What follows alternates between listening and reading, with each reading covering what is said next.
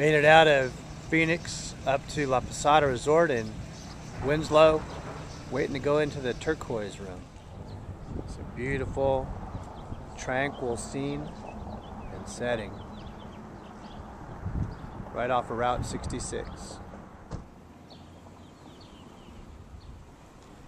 The hotel has its own garden and the turquoise room actually buys produce. Produce from the gardener here. They're separate entities and this is blue corn and you can tell that it's spring because the plants are just starting to come out of the ground. There's some pumpkin in the corner, some Hopi red amaranth, which is pretty exciting. I'm excited to go in the dining room at 5 when it opens and have a lot more of these local and Indian Native American inspired dishes. In a few months we'll be having some Cherokee purple heirloom tomatoes. Aztec runner beans are also being grown. This will be Diné squash, which is a, was a Native American staple. I sure hope they have more brothers and sisters for this Genovese basil coming out. It's going to look pretty good.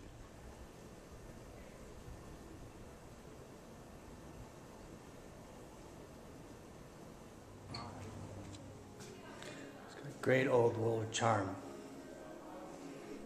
inside the lobby. La Posada is one of the last great railroad hotels. So they had a Fred Harvey dining room, which is sort of the Howard Johnsons of the 1800s. So they had a railroad depot and then the hotel. So the hotel is literally right on the train tracks, which is the way that most people got here. And the grounds are beautiful. Hotel was built in 1930. You see a lot of artisanal work. There's also a lot of great artwork, especially Native American artwork. All over the lobby. The hotel is about 65,000 square feet altogether.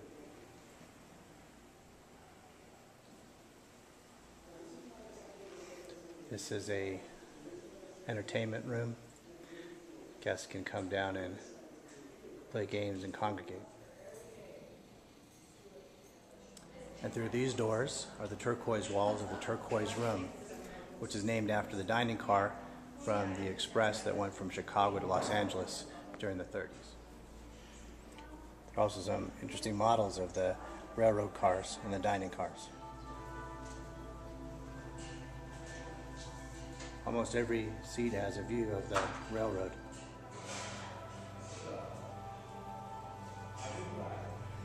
It's a grand old room with old bones that they do a good job of keeping restored and up to date.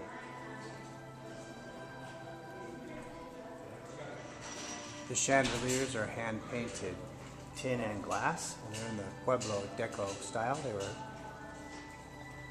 customized for the room. Tin and glass chandeliers that were commissioned for the turquoise room. The fried squash blossoms, which aren't on the menu but are looking pretty terrific, and they smell even better. And this is the piki bread with the tepary bean hummus, which is a reservation grown bean. I'm excited to try that. It's hard to see, but the piki bread is paper thin. It must take a lot of work to bake those. Because it's so fragile, I've been advised to spread the dip, tepary bean dip, which is like a hummus, onto the piki bread instead, and it tastes very nice, very garlicky. We have a Navajo churro pozole, Navajo churro medallion, lamb, an elk sausage, and then we have a tamale with green chili, also made with the Navajo churro sheep. Finally, the prickly pear bread pudding.